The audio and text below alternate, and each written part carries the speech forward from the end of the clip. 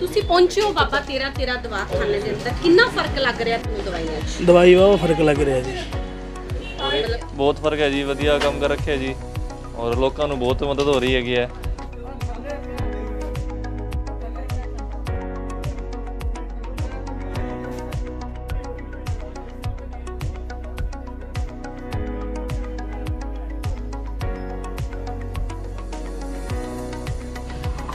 ਜੀ, ਮੈਂ ਤਾਂ ਪਹਿਲੀ ਵਾਰ ਆਇਆ ਜੀ ਔਰ ਮੈਂ ਤਾਂ ਤੁਹਾਡੀ ਐਡ ਹੀ ਦੇਖੀ ਸੀ ਔਰ ਮੈਨੂੰ ਪਤਾ ਲੱਗਾ ਕਿ ਕੁਝ ਆਪਣੇ ਸਰਸਾ ਸੇ ਕੋਈ ਖੁੱਲੀ ਹੈ ਨਹੀਂ। ਤਾਂ ਮੈਂ ਪਹਿਲੀ ਵਾਰ ਆਇਆ ਦਵਾਖਾਨਾ 'ਚ ਔਰ ਬਾਕੀ ਲੋਕ ਕੀ ਕਹਿ ਰਹੇ ਨੇ, ਬਹੁਤ ਬੈਨੀਫਿਟ ਲੱਗ ਰਿਹਾ ਲੋਕਾਂ ਨੂੰ ਔਰ ਮੈਨੂੰ ਵੀ ਖੁਸ਼ੀ ਹੋ ਰਹੀ ਹੈ, ਲੋਕਾਂ ਵਾਸਤੇ ਵੀ ਸੇਵਾ ਕਰ ਰਹੇ ਨੇ ਜੀ। ਬਹੁਤ ਬਹੁਤ ਧੰਨਵਾਦ। ਮੈਂ ਸੋਚਦਾ ਇੱਕ ਦੋ ਦੁਕਾਨ ਹੋਰ ਖੁੱਲੇ ਮੇ ਜੀ, ਸਾਡੇ ਵਾਸਤੇ, ਨਾਲੇ ਸਰਸਾ ਵਾਸਤੇ ਬਹੁਤ ਖੁਸ਼ੀ ਦੀ ਗੱਲ ਹੈ ਇਹ ਸਤਿ ਸ਼੍ਰੀ ਅਕਾਲ ਜੀ ਮੈਂ ਹੈਪੀ ਸਿੰਗਲਾ ਤੁਸੀਂ ਜੁੜ ਚੁੱਕੇ ਹੋ ਪਹਿਰੇਦਾਰ ਭਾਰਤ ਨਿਊਜ਼ ਨਾਲ। ਇਸ ਸਮੇਂ ਤੇ ਮੌਜੂਦ ਹਾਂ ਸਿਰਸਾ ਦੇ ਅੰਦਰ ਖੁੱਲੇ ਬਾਬਾ 13 13 ਦਵਾਖਾਨੇ ਦੇ ਵਿੱਚ। ਜਿਵੇਂ ਕਿ 31 ਅਗਸਤ ਨੂੰ ਸ਼ੁਰੂਆਤ ਹੋਈ ਸੀ ਬਾਬਾ 13 13 ਦਵਾਖਾਨੇ ਦੀ।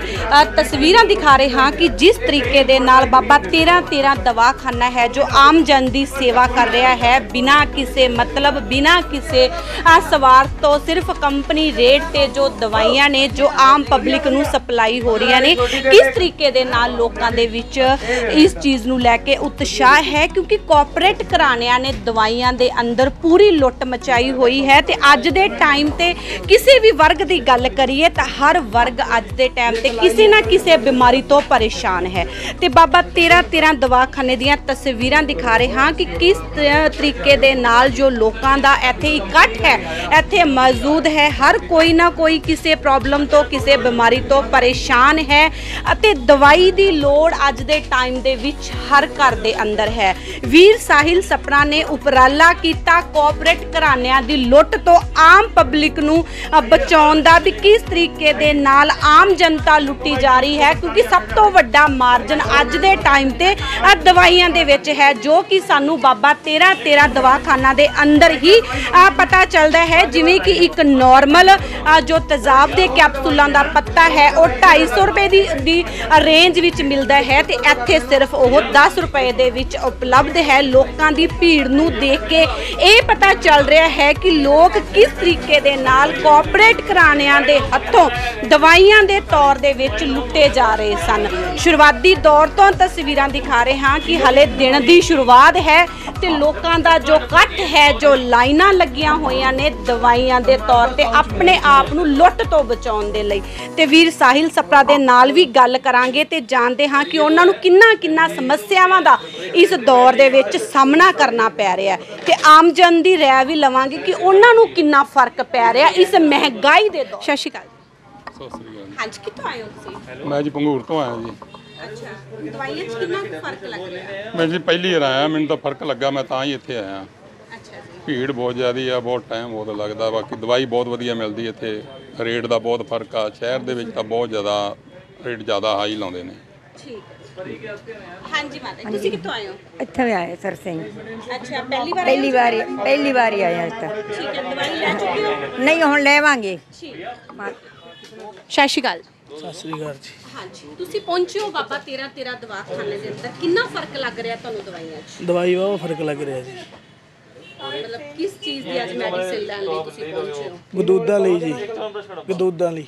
ਹੈ ਪਹਿਲਾਂ ਰੇਟ ਤੋਂ ਤੇ ਆਉਂਦੇ ਰੇਟ ਦਾ ਕਿੰਨਾ ਕੁ ਫ਼ਰਕ ਹੈ ਪਹਿਲੀ ਵਾਰ ਆਏ ਆ ਜੀ। ਬਾਬਾ 13 13 ਦਵਾਖਾਨੇ ਦੇ ਵਿੱਚ ਕਿੰਨਾ ਕੁ ਫ਼ਰਕ ਨਜ਼ਰ ਆ ਰਿਹਾ? ਬਹੁਤ ਫ਼ਰਕ ਹੈ ਜੀ ਵਧੀਆ ਕੰਮ ਕਰ ਰੱਖਿਆ ਜੀ। ਔਰ ਲੋਕਾਂ ਨੂੰ ਬਹੁਤ ਮਦਦ ਹੋ ਰਹੀ ਹੈਗੀ ਹੈ। ਪਹਿਲੀ ਵਾਰ ਆਇਆ ਜੀ ਔਰ ਮੈਂ ਤਾਂ ਤੁਹਾਡੀ ਐਡ ਹੀ ਦੇਖੀ ਸੀ। ਔਰ ਮੈਨੂੰ ਪਤਾ ਲੱਗਾ ਕਿ ਕੁਝ ਆਪਣੇ ਸਰਸਾ ਸੇ ਕੋਈ ਖੁੱਲੀ ਹੈ ਨਹੀਂ। ਤਾਂ ਮੈਂ ਪਹਿਲੀ ਵਾਰ ਆਇਆ ਦਵਾਖਾਨਾ 'ਚ ਔਰ ਬਾਕੀ ਲੋਕ ਕੀ ਕਹਿ ਰਹੇ ਨੇ ਬਹੁਤ ਬੈਨੀਫਿਟ ਲੱਗ ਰਿਹਾ ਲੋਕਾਂ ਨੂੰ। ਔਰ ਮੈਨੂੰ ਵੀ ਖੁਸ਼ੀ ਹੋ ਰਹੀ ਹੈ, ਲੋਕਾਂ ਵਾਸਤੇ ਵੀ ਸੇਵਾ ਕਰ ਰਹੇ ਨੇ ਜੀ। ਬਹੁਤ ਬਹੁਤ ਧੰਨਵਾਦ। ਮੈਂ ਸੋਚਦਾ ਇੱਕ ਦੋ ਦੁਕਾਨ ਹੋਰ ਖੁੱਲੇ ਮੇ ਜੀ, ਸਾਡੇ ਵਾਸਤੇ। ਨਾਲੇ ਸਰਸਾ ਵਾਸਤੇ ਬਹੁਤ ਖੁਸ਼ੀ ਦੀ ਗੱਲ ਹੈ ਇਹ ਤਾਂ। ਸਾਰੇ ਨੇ ਰਾਜਸਥਾਨ ਤੋਂ, ਚੰਡੀਗੜ੍ਹ ਤੋਂ ਰਾਜਸਥਾਨ ਦੇ ਲਾਸਟ ਏਰੀਆ ਤੋਂ ਜਿਹੜਾ ਗੁਜਰਾਤ ਨੂੰ ਟੱਚ ਕਰਦਾ ਹੈ, ਮਤਲਬ ਕਾਫੀ ਦੂਰ ਤੋਂ ਪੇਸ਼ੈਂਟਸ ਆ ਰਹੇ ਨੇ। ਤੇ ਅਸੀਂ ਵੀ ਕੋਸ਼ਿਸ਼ ਕਰ ਰਹੇ ਹਾਂ ਕਿ ਸਾਰਿਆਂ ਨੂੰ ਟਿਪੀਕਲੀ ਟਾਈਮਲੀ ਅਟੈਂਡ ਕਰ ਸਕੀਏ ਤੇ ਸਾਰਿਆਂ ਨੂੰ ਜਿਹੜੀ ਰਿਕੁਆਇਰਮੈਂਟ ਹੈ, ਉਹਨਾਂ ਦੀ ਮੈਡੀਸਿਨਸ ਦੀ ਪੂਰੀ ਕਰ ਸਕੀਏ। ਜਿਵੇਂ ਅੱਜ ਦੇ ਟਾਈਮ ਤੇ ਸਾਹਿਲ ਜੀ ਹਰ ਵਰਗ ਪਰੇਸ਼ਾਨ ਹੈ ਹਨਾ? ਦਵਾਈ ਬਿਮਾਰੀ ਅੱਜ ਕੱਲ ਹਰ ਘਰ ਦੇ ਵਿੱਚ ਆ। ਤੇ ਕਿਵੇਂ ਕਿਵੇਂ ਮੈਨੇਜ ਕੀਤਾ ਜਾ ਰਿਹਾ? ਜਿਵੇਂ ਬਜ਼ੁਰਗ ਵੀ ਆ ਰਹੇ ਨੇ ਔਰਤਾਂ ਵੀ ਆ ਰਹੀਆਂ ਨੇ ਬੱਚੇ ਵੀ ਆ ਰਹੇ ਆ ਕਿਵੇਂ ਕਿਵੇਂ ਮੈਨੇਜ ਜੀ ਤਿੰਨ ਲਾਈਨਾਂ ਨੇ ਸਾਡੀਆਂ ਇੱਕ ਯੰਗਸਟਰਸ ਦੀ ਲਾਈਨ ਹੈ ਤੇ ਇੱਕ ਸਾਡੀ ਬਜ਼ੁਰਗਾਂ ਦੀ ਲਾਈਨ ਹੈ ਇੱਕ ਫੀਮੇਲਸ ਦੀ ਲਾਈਨ ਲਾਈ ਹੋਈ ਹੈ ਅਸੀਂ। ਤੇ tokens starting in the morning ਜਿਹੜੀ ਨਾਲ ਦੀ ਸ਼ੋਪ ਹੈ ਉਹਨੇ ਸੇਵਾ ਲਈ ਹੋਈ ਹੈ ਉਹ ਸਵੇਰੇ ਸਾਰਿਆਂ ਨੂੰ ਟੋਕਨ ਦੇ ਦਿੰਦੇ ਨੇ। ਇੱਕ ਤੋਂ ਲੈ ਕੇ 100 ਤੱਕ। ਉਹਦੇ ਬਾਅਦ ਮਤਲਬ ਟੋਕਨ ਵਾਈਜ਼ ਸਾਰਿਆਂ ਨੂੰ ਮੈਡੀਸਿਨਸ ਪ੍ਰੋਪਰਲੀ ਟਾਈਮਲੀ ਦੇਣ ਦੀ ਅਸੀਂ ਕੋਸ਼ਿਸ਼ ਕਰਦੇ ਹਾਂ। ਸਿਰਸਾ ਦੇ ਵਿੱਚ ਗੱਲ ਕਰੀਏ ਤਾਂ ਦੇਖੋ ਵੱਡੇ ਵੱਡੇ ਡਰੱਗ ਮਾਫੀਆ ਬੈਠੇ ਨੇ, ਜਿਨ੍ਹਾਂ ਨੇ ਹਨਾ ਦਵਾਈਆਂ ਦੇ ਨਾਂ ਤੇ ਲੁੱਟ ਮਚਾਈ ਹੋਈ ਆ।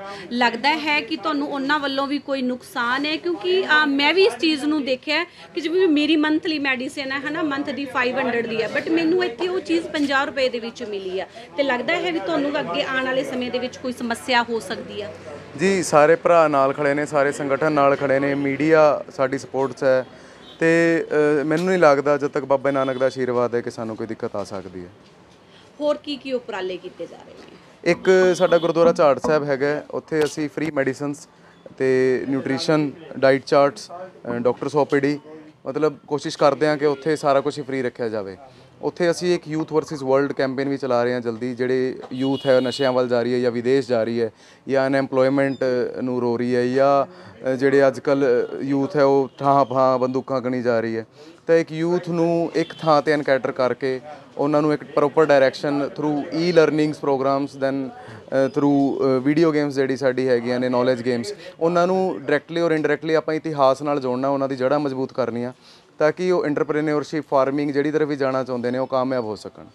ਆ ਸਾਹਿਲ ਜੀ ਜਿਵੇਂ ਕਿ ਦੇਖੋ ਤੁਹਾਡੇ ਕੋਲੇ ਪ੍ਰੋਡਕਟ ਵੀ ਪਏ ਨੇ ਜੌਨਸਨ ਦੇ ਪਏ ਨੇ ਵਾਰਨਵਿਟਾ ਪਿਆ ਹੈ ਚਵਨ ਪ੍ਰਾਸ਼ ਪਿਆ ਹੈ ਹਨਾ? ਕਾਫੀ ਹੋਰ ਵੀ ਕੰਪਨੀਆਂ ਦੇ ਪ੍ਰੋਡਕਟ ਪਏ ਹੈ।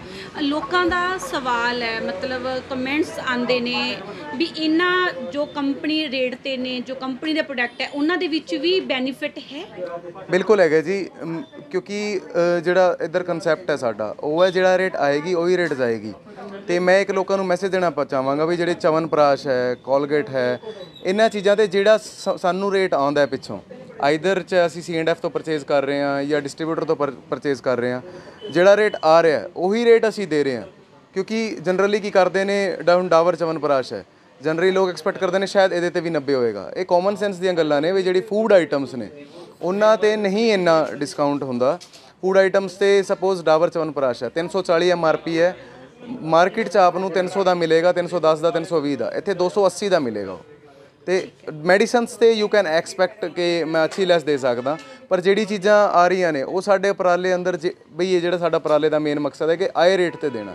ਉਹ ਅਸੀਂ ਆਏ ਰੇਟ ਹੀ ਦੇ ਰਹੇ ਹਾਂ। ਜਿਵੇਂ ਕਿ ਤੁਹਾਡੀ ਅ, ਸਾਹਿਲ ਜੀ ਇੱਕ ਵੀਡੀਓ ਵੀ ਦੇਖੀ ਸੀ ਜਿਸ ਦੇ ਵਿੱਚ ਅਸੀਂ ਦੇਖ ਰਹੇ ਸੀ ਕਿ ਵੀ ਸ਼ੂਗਰ ਦੇ ਪੇਸ਼ੈਂਟ ਨੇ ਜਾਂ ਕੋਈ ਹੋਰ ਨੇ ਦੇਖੋ ਇੱਥੋਂ ਰਹਿ ਵੀ ਲੈ ਕੇ ਜਾਂਦੇ ਨੇ ਹਨਾ? ਤੇ ਉਹਨਾਂ ਨੂੰ ਵੀ ਕਾਫੀ ਫ਼ਰਕ ਪਿਆ। ਹੁਣ ਮੌਸਮ ਚੇਂਜ ਹੋ ਚੁੱਕਿਆ ਹੈ। ਛੋਟੇ ਬੱਚਿਆਂ ਲਈ ਬਹੁਤ ਸਮੱਸਿਆਵਾਂ ਨੇ ਜੋ ਡੇਢ ਡੇਢ ਦੋ ਦੋ ਸਾਲ ਦੇ ਬੱਚੇ ਨੇ ਕਿਉਂਕਿ ਇੱਕੋ ਦਮ ਬਾਰਿਸ਼ ਹੈ ਇੱਕੋ ਦਮ ਗਰਮੀ ਹੈ। ਤੇ ਬੱਚਿਆਂ ਦੇ ਕਲੋਥਿੰਗ ਦੇ ਵਿੱਚ ਕੱਪੜਿਆਂ ਦੇ ਵਿੱਚ ਆਪਾਂ ਕੋਈ ਇੰਨੀ ਜਲਦੀ ਚੇਂਜ ਨਹੀਂ ਕਰ ਬਿਲਕੁਲ, ਸਕਦੇ। ਬਿਲਕੁਲ, ਬਿਲਕੁਲ। ਤਾਂ ਕੀ ਸੁਜੈਸਟ ਦੇਣਾ ਚਾਹੋਗੇ ਕਿ ਬੱਚਿਆਂ ਨੂੰ ਕਿਸ ਤਰ੍ਹਾਂ ਆਪਾਂ ਕੇਅਰ ਕਰ ਸਕਦੇ ਹਾਂ? ਕਿ ਮਤਲਬ ਬੱਚੇ ਨੂੰ ਕੀ ਖਾਂਸੀ ਜ਼ੁਕਾਮ ਦੀ ਪ੍ਰੋਬਲਮ ਹੈ ਸ਼ੁਰੂਆਤੀ ਦੌਰ ਹੈ? ਕਿਸ ਤਰੀਕੇ ਦੇ ਨਾਲ ਕਰ ਸਕਦੇ ਦੇਖੀਏ ਜਿਹੜੀ ਪਹਿਲਾਂ ਲਹਿਰ ਕਹਿੰਦੇ ਸੀ, ਲਹਿਰ ਵੀ ਆਈ ਸੀਗੀ, ਮੈਂ ਤਾਂ ਉਹਨੂੰ ਇਨਫਲੂਐਂਜ਼ਾ ਵਾਇਰਸ ਕਹਿਣਾ ਇਹ ਜੋ ਵੀ ਨਾਮ ਲੈਣ। ਇਨਫਲੂਐਂਜ਼ਾ ਵਾਇਰਸ ਹਰ 6 ਮਹੀਨੇ ਬਾਅਦ ਮਿਊਟੇਟ ਕਰਦਾ ਹੈ। ਤੇ ਉਹ ਫੈਲਦਾ ਹੀ ਫੈਲਦਾ ਹੈ ਆਈਦਰ ਵਾਇਰਲ ਦੇ ਰੂਪ ਚ ਆਵੇ ਜਾਂ ਕੋਵਿਡ ਜਿਹੜਾ ਵੀ ਕਹਿੰਦੇ ਨੇ ਉਹਦੇ ਰੂਪ ਚ ਆਵੇ। ਤੇ ਆਪਾਂ ਪਹਿਲਾਂ ਪ੍ਰੀਕਾਸ਼ਨਸ ਕੀ ਲੈਣੇ ਨੇ? ਇੱਕ ਤਾਂ ਬੱਚਿਆਂ ਦੀ ਇਮਿਊਨਿਟੀ ਸਟਰੋਂਗ ਰੱਖਣੀ ਹੈ, ਉਹਨਾਂ ਦੀ ਫੂਡ ਹੈਬਿਟਸ ਜਿਹੜੀ ਹੈ ਉਹ ਵੈਲ ਕਰੀਏ, ਬਾਹਰ ਦਾ ਫਾਸਟ ਫੂਡ ਗੰਦਮੰਦ ਖਾਣੇ ਪ੍ਰੋਸੈਸਡ ਫੂਡ ਉਹਨਾਂ ਨੂੰ ਅਵੋਇਡ ਕਰੀਏ।